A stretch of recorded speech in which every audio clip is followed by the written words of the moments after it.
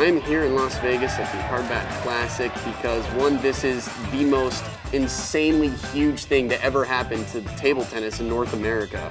Ping pong does bring a smile to people's faces whenever you bring it up in a conversation. But if you were to ask me a professional table tennis player, I couldn't tell you. Tony Bond, uh, two-time Olympian. Errol Resnick uh, used to be like number two, three player in the country. Dick Miles, 10-time U.S. champion. John Ferrante. We had David Zhuang in our group yesterday. We ran him out of here.